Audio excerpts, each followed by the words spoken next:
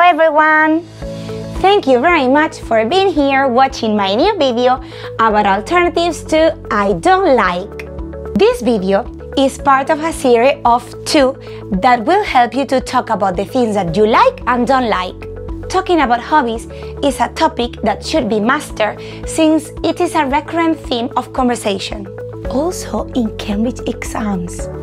Have you watched my last video about alternatives to I like? Now that we know a wide variety of structures to talk about likes, let's move on to alternatives to I don't like. We are about to start in 3, 2, 1, go!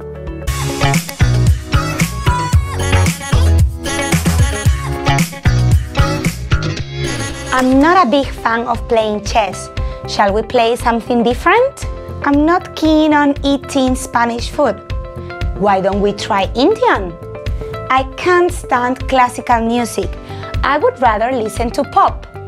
I'm not particularly fond of team sports. I used to play the piano when I was younger, but it wasn't my thing.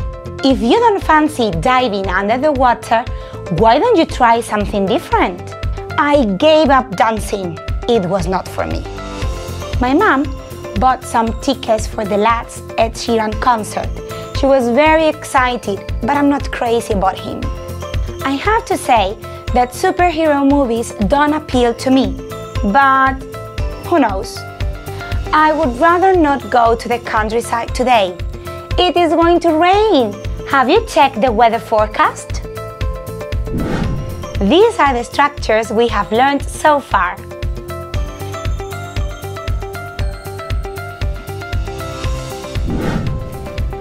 Let's recap. Choose the correct collocation. I am not a big fan of football. Drama movies do not appeal to me. I'm not